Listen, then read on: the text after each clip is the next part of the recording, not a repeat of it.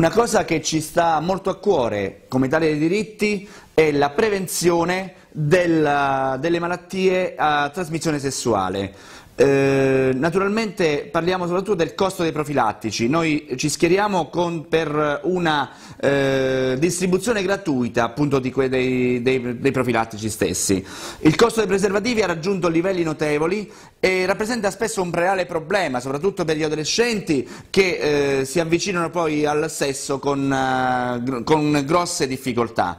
In uno scenario sociale in cui vediamo lo Stato propagandare tutti i giorni, quotidianamente, eh, il, la salute del diritto, la tutela della salute dei cittadini, eh, assistiamo a vastissime campagne di sensibilizzazione che vengono finanziate, eh, poi cosa ci troviamo? Praticamente, tra sono rivolte soprattutto agli adolescenti queste, eh, queste campagne, il permanere di una situazione, di condizioni così elitarie appunto per l'accesso ai preservativi eh, denota mh, a nostro avviso un alone di incoerenza sicuramente. Perciò noi non abbiamo dubbi tal, tal, a tal proposito, eh, bisogna intervenire immediatamente, c'è un'esigenza primaria, prioritaria di, di intervenire appunto sul prezzo dei, dei, dei profilattici affinché ci sia una prevenzione totale, non sia soltanto propaganda, non sia soltanto eh, demagogia, ma sia una prevenzione totale che, eh, viene, eh, quella che deve essere messa in atto,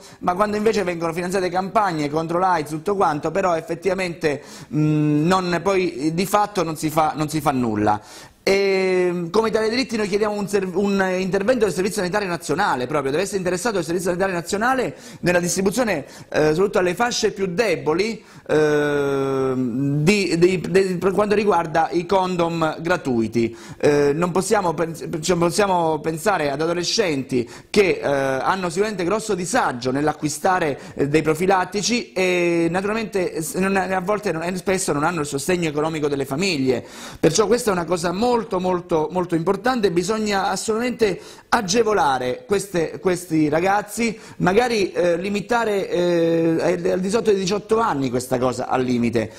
Questo magari bisognerebbe vedere poi le modalità su cui come intervenire a livello legislativo, però è una cosa molto importante, è una, una battaglia che portiamo avanti, eh, porteremo avanti con grande decisione, eh, so che i ragazzi sono con noi perché purtroppo c'è un dilagare le, malattie trasmetti, tra, tra, trasmettibili ehm, sessualmente, perciò parliamo di AIDS, parliamo di epatite C, non sottolineiamo l'epatite C, ma parliamo di papillomavirus, parliamo anche di altre malattie venere, magari minori ma sicuramente non meno fastidiose, sono minori, magari meno eh, eh, invasive, ecco. però sicuramente possono portare problemi anche seri in, in tanti casi. E diciamo che ehm, è importantissimo, non si può pretendere che un quindicenne entri in farmacia e spenda 10 euro per un pacco di profilattici, pochi profilattici, eh, è chiaro che magari un quindicenne che non ha la, non, non ha la possibilità, come la maggior parte poi, eh, la stragrande maggioranza della, dei, nostri, dei, dei, nostri, adolescenti, degli adolescenti appunto del nostro, del, uh, italiani,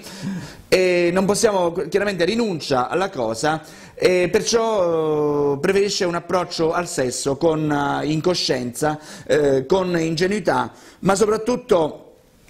eh, obbligato direi spesso eh, da quello che è il contesto appunto e la mancanza eh, di disponibilità finanziaria e poi naturalmente con tutti questo eh, deno, chiaramente eh, da questo derivano tutti i tragici risvolti eh, che conosciamo appunto a livello clinico, a livello patologico. Perciò ribadiamo ancora una volta l'Italia dei diritti in prima linea per la distribuzione gratuita dei profilattici eh, e questa è una cosa di cui deve farsi carico lo Stato, sappiamo che c'è un articolo che tutela la salute dei cittadini costituzionalmente codificato, che è l'articolo 32 e lo Stato non può non può assolutamente tirarsi indietro dal rispetto delle norme costituzionali, perciò deve tutelare la salute dei cittadini e questo può avvenire anche tramite eh, la, il decretare appunto una eh, distribuzione gratuita per eh, dei preservativi eh, per quanto riguarda i, gli adolescenti.